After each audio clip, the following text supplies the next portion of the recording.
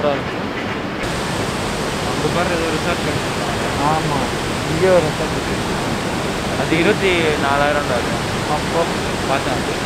Train போனேன். இருபத்தி நாலாயிரம் ரெண்டு பேருக்கு ஒரு நாள்.